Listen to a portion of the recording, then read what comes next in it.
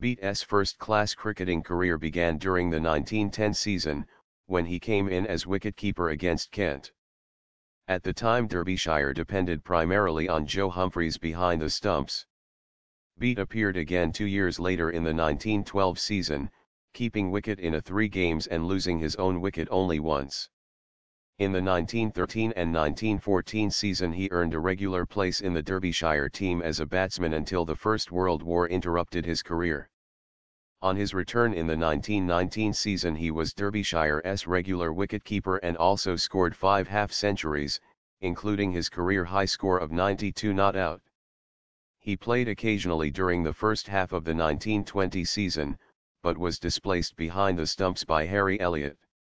From then on he appeared in just two further matches for the Derbyshire first team in the 1922 and 1925 season, the last being at the age of 39.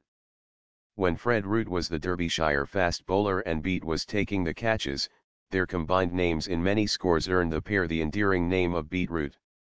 Beet was a right-handed batsman and played 88 innings in 48 first-class matches with an average of 16.37 and a top score of 92 not out.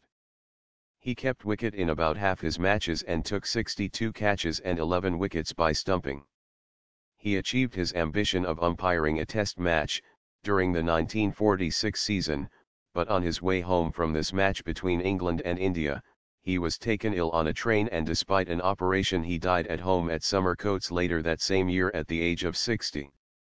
Beet's son, George Beet, and grandson, Gordon Beet, were also cricketers who played for Derbyshire.